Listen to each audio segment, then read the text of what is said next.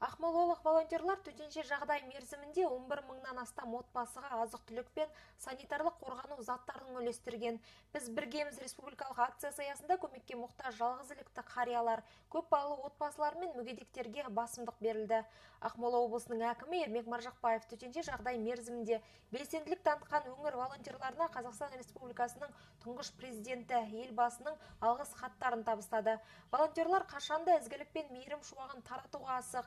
Біргеміз республикалық акциясына Феникс, Аманат, волонтерлар клубтары, Думан педагогикалық отряды мен Жас отан жастар қанатының өкілдері өз үлесін қосты.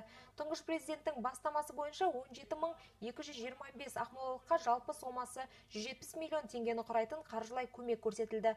Жақсылық жасаудан жарысқан жастар арасынан үздік 27 волонтерға елбасы Нұрсұлтан Назарбаевтың атынан алғыс хат табысталды.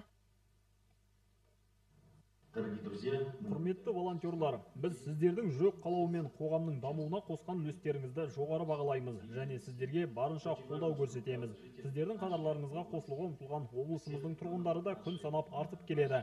Шынайы көңілмен жасалған жақсылық қоғамдағы ізгілік пен өзара сыйластықты қалыптастыратынына сенімдімін. Сіздерге барша облыс тұрғындары атынан алғыс білдіремін. Волонтерлар еліміздің нағыз патриоттары деп білемін.